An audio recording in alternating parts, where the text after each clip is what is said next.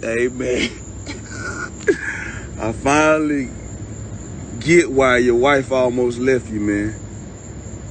You don't know how to make in-game adjustments. you don't know how to make in-game adjustments. Everybody figure your ass out, man. You don't know how to make in-game adjustments, man. And don't nobody really like your your cap ass. Yeah, you lose. What's going on, guys? What's going on, guys? I'm Jaye De Black. Salute to everybody that's tuning in. I want to talk about this video clip that's going viral in regards to former NBA player Josh Smith and his rant, where he basically clowned Doc Rivers for his team losing in Game Seven Doc Rivers has had a couple of stops as a, as a coach, right? He's considered to be a very good coach, right? But Josh Smith does not feel that way. So Josh Smith decided to get on social media and clown him. And he even brought up the fact that Doc Rivers almost lost his wife, that Doc Rivers' wife almost left him. Now that that is to me that is a low blow. You know, I don't condone bringing up you know someone's wife in a situation. Uh, if you want to keep it to basketball, we can. But the clip was funny nonetheless. Okay, now we're gonna get into this article, and we're gonna see what they have to say about it. The Philadelphia 76ers have officially been eliminated from the 2020-2021 NBA playoffs.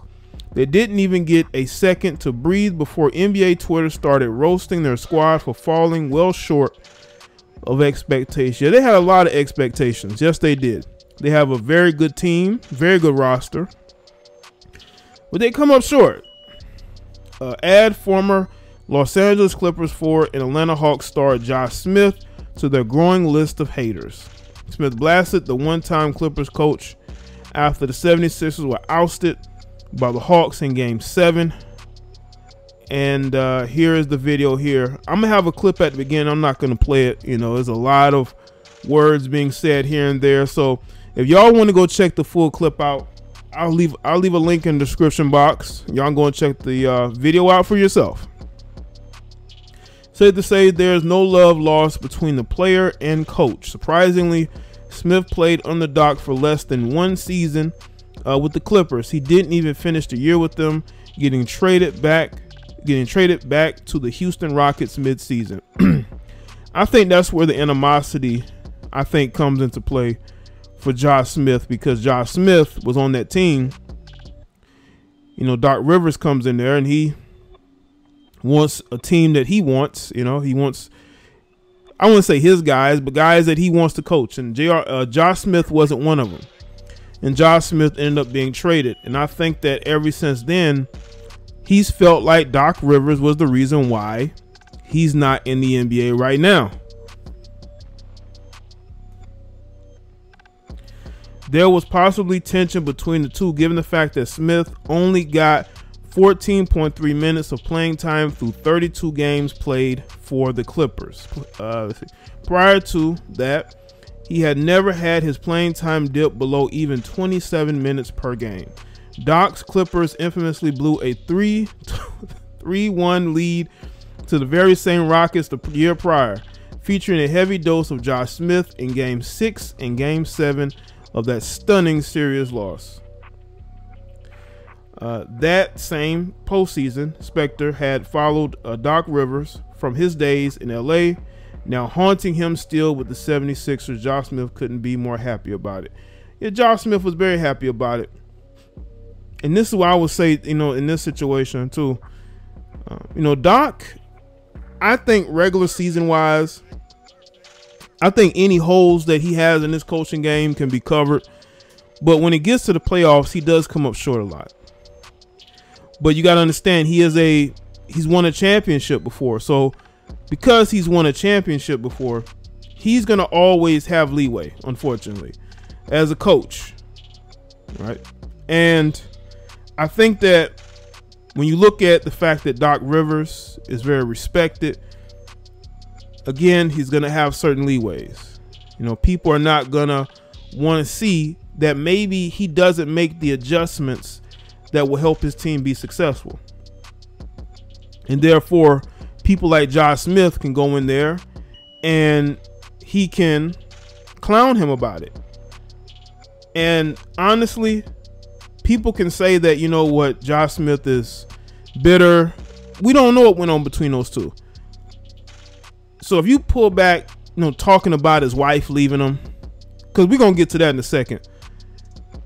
I just think Josh Smith has never gotten over the fact that he was traded when he didn't want to be traded, and he's felt some type of way ever since then. Now let's get to Doc Rivers and his and his wife. There was photos that circulated almost two years ago. I didn't make a video on it, but apparently Doc Rivers was out and about with this woman. And that led to some speculation that him and his wife has separated. And Doc Rivers, you never see him with his wife. You never see him out and about with his wife like that. I'm not saying that he has to be out there with his wife. I'm not saying that he has to put his wife out there. But again, he's never with his wife. He's never with her. But he was seen with this young lady. And it caused a bit of a stir, but then it went away. It, it was as if the situation never occurred, right? So you have to ask yourself, is Doc Rivers even with his wife? Because there's a strong possibility that Doc ain't with his wife like that no more, and that he has moved on. He has moved on. He but he has a very private either arrangement. Maybe his wife caught him cheating and almost left him, but didn't. Because I don't think, honestly, I'm just being honest. I don't think Doc Rivers' wife is going anywhere. I don't. Doc Rivers' wife is not going anywhere. Uh, you know, and and listen, I'm not trying to go in on her, but I don't know if the attraction is still there for him towards her. Um, but I think that she's comfortable in that situation. And Doc does not want anything to hinder his coaching career. Because Doc Rivers has a reputation that he wants to uphold. As a family man coach, it's a bad look when you be spotted out there with other women. And the fact that Josh Smith is bringing that up just shows that there might be some truth to the rumors that him and his wife had separated or almost separated. But for the sake of his reputation and his coaching career, it did not happen. But that doesn't mean that he still ain't out here doing him. It doesn't mean that he still isn't out there going on dates with allegedly another woman. But it's all about reputation. I think that Josh Smith sees something that other people may not see in regards to Doc Rivers. That he sees a side of Doc Rivers that other people don't. And I think that's why he was so gleeful. That's why I think he was so gleeful when he saw that they had lost. He was so gleeful about it. Because behind the scenes, he's dealt with Doc Rivers before. I don't think Doc Rivers is a bad guy. I just think that he just can't win at the level he did when he had the big three in Boston. Because he had players who were basically coaches on the court.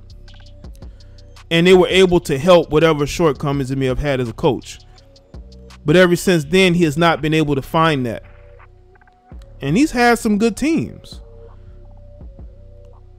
But ultimately, I think Josh Smith believes that Doc Rivers does not take accountability for his mistakes as a coach and he blames everybody else and he points the finger and he gets rid of people instead of him being able to learn how to be a better coach. Listen, Doc Rivers is who he is. He's set in his ways.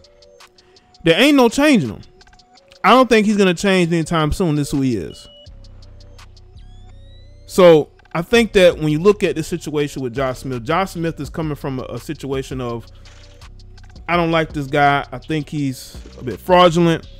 His own wife almost left him. He's somebody that to me is not a good coach, but he gets a lot of praise. And he does. Doc Rivers do get a lot of praise. He does. But I think Josh Smith is the type of person that just he's tired of it. He's tired of seeing Doc Rivers get a pass. Listen, any other coach, and I saw it, the Philadelphia Eagles won a Super Bowl not too long ago. But they still fired their head coach because the organization did not want to hold the GM Howie Roseman accountable for the fact that he was he and and and head coach him and the ownership had a tight rein on that team. So Doug Pederson was a fall guy. They did not allow Doug Pederson to make the adjustments or coach the team the way he wanted to. And the front office never held accountable for how they treated the coaching staff. So they say, you know what, this team is not living up to expectations. Let's just fire Doug Pederson because we're the Eagles. We can hire anybody. That happens. And I do think that in the media, the players are always held accountable, but certain coaches will get a pass. And I believe that Doc Rivers has gotten a pass and a pass and a pass and a pass. But in regards to his wife's situation, I don't think his wife has anything to do with it. Doesn't mean the clip isn't funny. Doesn't mean the clip doesn't have truth to it. But y'all can go and check it out for yourself. Make sure you like this video and share it and let me know what you think in the comment section below.